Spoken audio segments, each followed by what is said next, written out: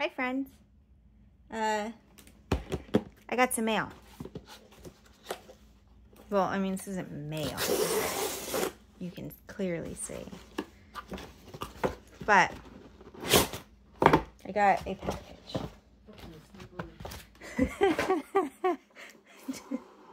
Pay no attention to the man behind the curtain over there. Who knows that I'm. Uh, anyway. Making sure that we have nothing with my address showing. I got two things. I got an email and I was like, how come no one's talking about this? But then they were and I had just missed it. Um, what did I get? So this, I'm pretty excited about it. I think it's pretty impractical, but oh, I like this little container. Um, this is stuck.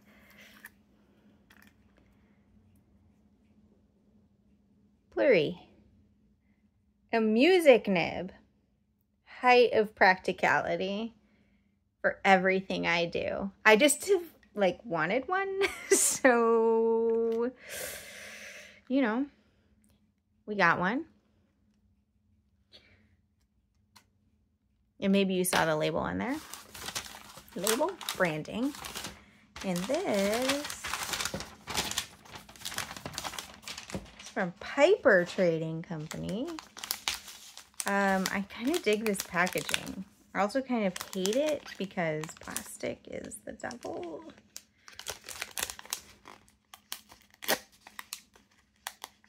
But maybe it's that kind of plastic that you could eat if you wanted to. So, Piper Trading Co.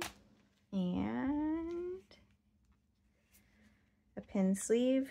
It's made out of some kind of like duck. I know, he's confused too. And here's the pen. This is a periwinkle color. I'll agree with that. Um, honestly, I just wanted to check it out. You know, new-ish company, sort of. Because I think it's like a pet project from um, Franklin Christoph. Apparently I got this with a medium nib. Who knows? I'll take their word for it that that's what I ordered. Um, I like it. It's simple. The, the cap posts really well. Uh, I, I kind of dug how it was like I don't know if you're going to see the difference in color. And I actually suspect that's just because these are the areas where it's thinner and it's allowed to be thicker where it's darker. Um, but I got ink to check it. Oh, but I didn't get water. Let's fix that. Okay. Um, candle right next to me and it feels surprisingly warm. It's not a cold day, so that doesn't help. Anyway, I, without looking at the pen first, grabbed from Cali, which isn't going to be quite right. Because this is warm. That's cool. Let's see if there's something I like better. But my inclination is just to go with it because it's here. And sometimes that's the best thing that's the best quality any can have is to be present. I mean, it's not that bad. This would be a better choice, but I just used it. Not putting a shimmer. Foxglove wouldn't be too, too poor choice.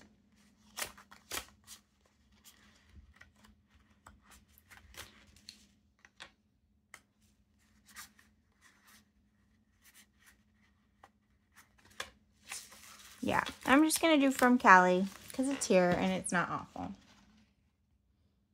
I don't think. Time will tell.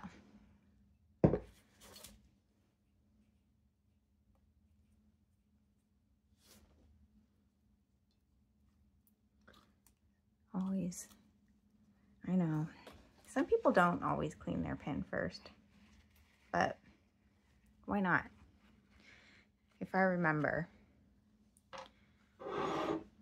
It's not like I'm arduously cleaning. it. I'm just putting water in.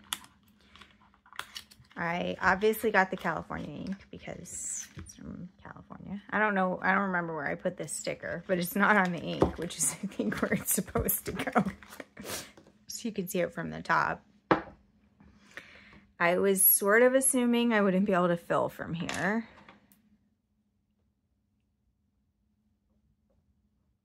Oh, but I might be able to. I'll try. Oh, it worked.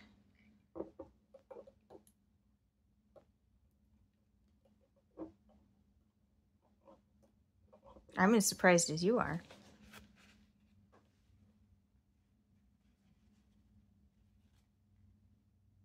Look at that. Paper towel chromatography. The blue is not from this. And I also brought a different uh, Franklin Christoph to put that nib in and we'll do a dip test with it. So let's, let's go back here. At all these notes. New pin day. Come over here. We have New Pin Day. What is this? This is the Piper Second Empire.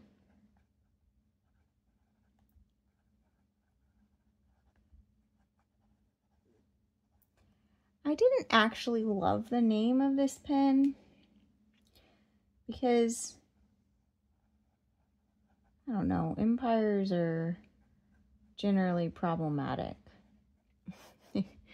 usually rise to power by subjugating people. But that's reading an awful lot into the name of a fountain pen. so, yeah. Colorverse from Cali. Little heart there. Seems to write pretty well in all directions. Yeah. I dig it. Not a great match, pen and ink. Um, but we'll look at it. We'll compare it to some a pen. I have a pen. No, I have two pens here that we can compare it to size-wise. But close-up look. It's got engraved here in the I don't know if you call it a finial if it's not separate.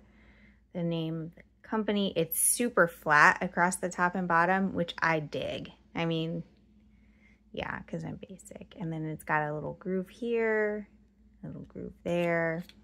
If you look at it, this cap bands are down here,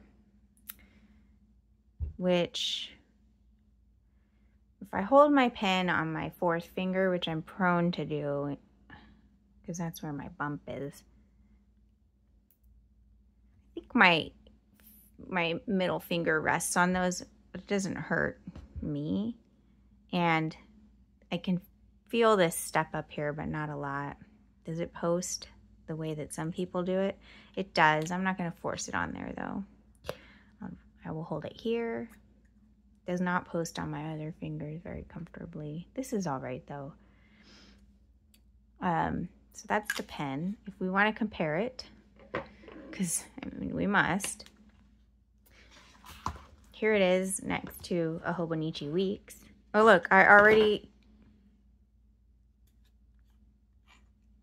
Great. You know what?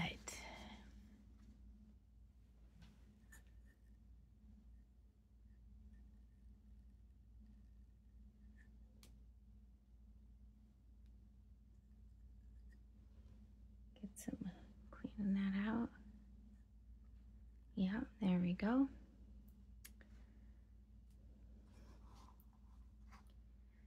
They're uncapped in a Hobonichi week. Give you an idea.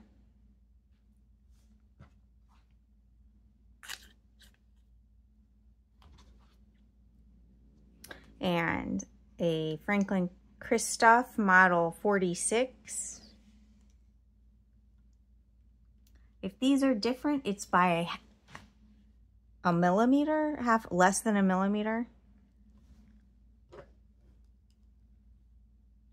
A TWSBI Eco T. Take it off of here. Um, and used cotton swab slash bud. If we look uncapped,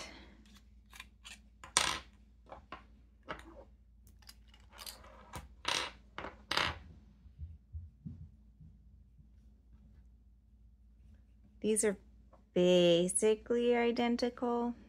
The one big difference is the threads. So the Franklin Christoph has these pretty chunky threads here.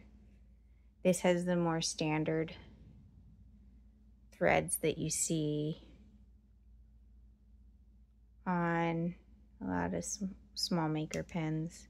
But yeah, if you want to look at these close up for size, more or less identical.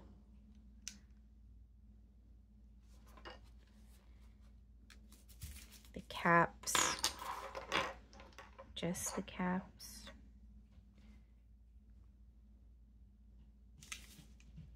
Hope that helps. You can't do this though, because this the threads are different. Mean you can, but it won't screw on. Now,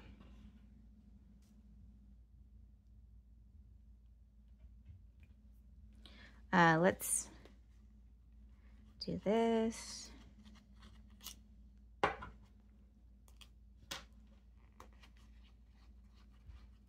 check out our new nib. This, by the way, is a Model 46, like the old one, because I guess they've taken it away. So presumably at some point there will be a new one. I hope they just give it a different number.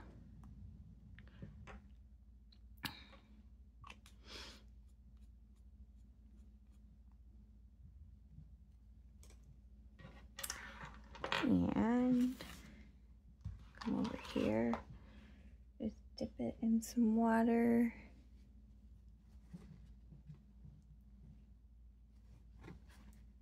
not inking this up and I don't know I think these use JoWo housings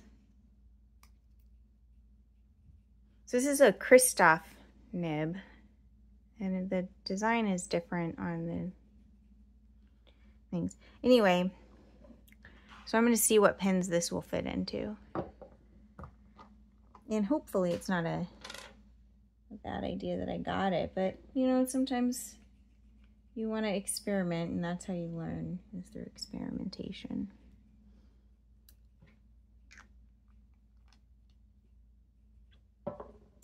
So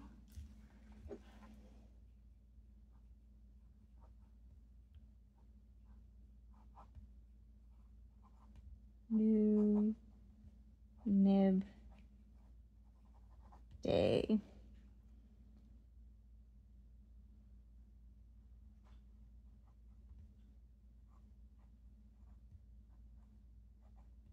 Christoph music.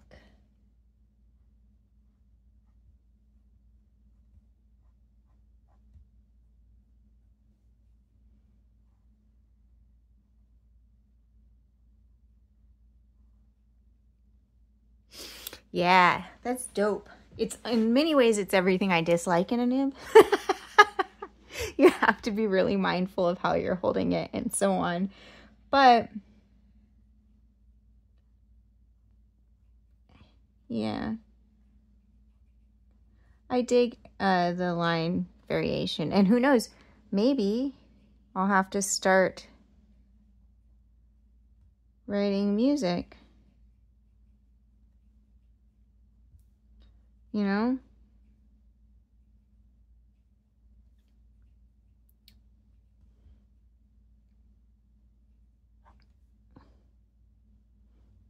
Don't that don't you wanna there we go. Every good boy deserves fudge. Or no. Fries. Yeah.